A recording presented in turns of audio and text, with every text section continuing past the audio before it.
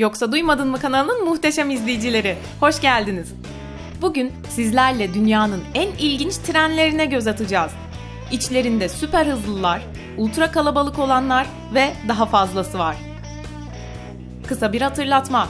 Videoyu severseniz beğen tuşuna basabilir ve yeni videolardan haberdar olmak için abone olabilirsiniz. Herkes yerini aldıysa yolculuk başlasın. 8 numara Japonya Japonlar hızlı tren söz konusu olduğunda oldukça ciddiler. Ancak bahsettiğimiz hızlı tren bizim Türkiye'dekinden oldukça farklı. Bu trenler manyetik kaldırma teknolojisiyle çalışıyor. Güçlü elektromıknatısların oluşturduğu itme kuvveti sayesinde tren raylardan yaklaşık 10 mm havada asılı olarak gidiyor. Yani bir nevi havada uçarak ilerliyor. Maglev adlı tren 2015 yılında bir dünya rekoru kırdı ve saatte 603 km hıza ulaştı. 11 saniye içinde bu hıza ulaşıyor ve 280 kilometreyi 40 dakikada gidebiliyor. 7 numara Bangladeş Bangladeş, Güney Asya'da bulunan bir ülkedir. Burada yaklaşık 163 milyon insan yaşıyor. Ülke yüz ölçümü olarak bizim Doğu Anadolu bölgesinden biraz daha küçük.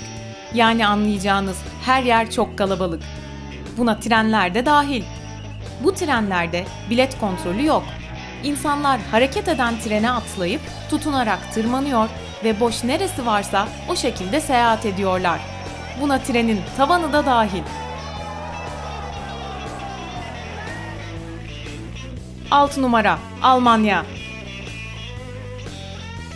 Hitler Almanyası'ndaki mühendisler 1930 yılında dünyanın en hızlı trenini yapmak için çalışmaya başladılar.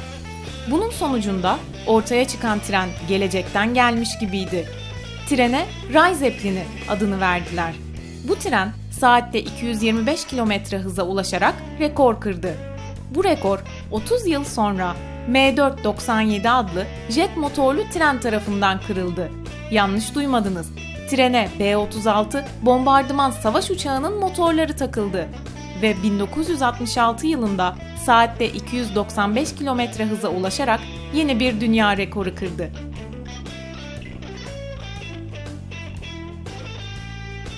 Beş numara Avustralya Dünyanın en geniş ve en uzun treni 2001 yılında Avustralya'da üretildi. Trenin uzunluğu 7350 metre. Yapılış amacı ise demir madenlerinden çıkartılan demir cevherlerini taşımak. Bu tren şu an hala kullanımda. Toplamda 632 vagonu var ve aralara yerleştirilen 6 adet dizel lokomotif tarafından hareket ettiriliyor. Yol kenarında trenin geçmesi için bekleyen araba sürücülerine üzülmemek de elde değil. Çünkü yaklaşık 20 dakika boyunca beklemek zorundalar.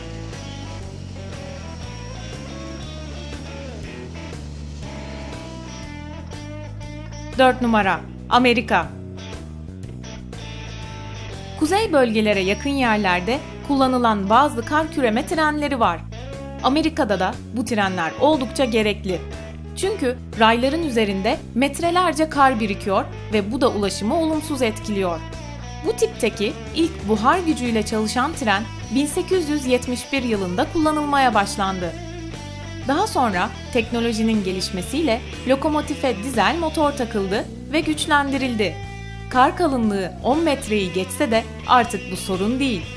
15 metre uzunluğundaki bu kar küreme treni buhar makinesi sayesinde hem karları eritebiliyor, hem yolu açıyor, hem de tarihi tren düdüğü sayesinde geçtiği yerdeki insanlara nostalji yaşatıyor.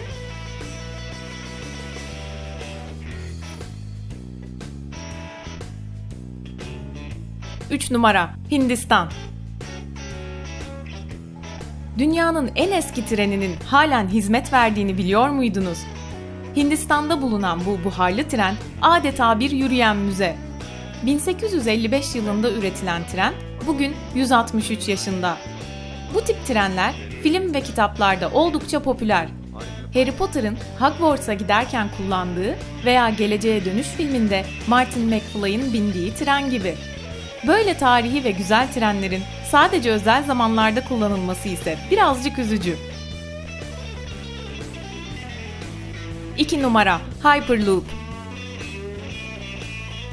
Bu bir tren değil ama metro tren karışımı bir ulaşım aracı olduğu için listede olmayı hak ediyor. Elon Musk tarafından geliştirilen üst düzey bir hızlı ulaşım aracıdır. Basitçe anlatmak gerekirse yolcular kapsül benzeri taşıtlara biniyorlar ve tüplerin içindeki yüksek dereceli hava basıncı sayesinde çok yüksek hızlarda seyahat edebiliyorlar. Vakum sistemi sayesinde sürtünme etkisi en aza indirilerek hız arttırılıyor. Eğer bu sistem test aşamasını geçer ve yaygınlaşırsa uzun mesafeler kısa sürelerde aşılabilecek.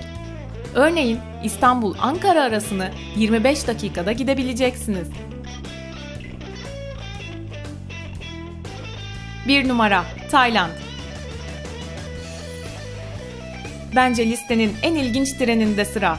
Yer Tayland. Bu tren bir semt pazarının tam ortasından geçiyor. Yerel halk duruma o kadar alışkın ki tren geldiğinde tezgahlarını hafifçe toplayıp tenteleri kapatıyorlar ve trene yol veriyorlar. O koskoca tren geçtikten sonra da herkes işine geri dönüyor. Onlar için oldukça sıradan ama turistler için şaşkınlık veren bir tecrübe. Bölgenin kalabalık nüfusunu göz önünde bulundurunca bu durumun ne kadar da tehlikeli olabileceğini tahmin edersiniz. Bizden bugünlük bu kadar. Bu trenlerden hangisine binmek isterdiniz? Yorumlarda konuşalım. Ayrıca bizi Instagram'dan takip etmek isteyenler için işte adreslerimiz. İzlediğiniz için teşekkürler. Bir sonraki videoda görüşürüz. Hoşçakalın.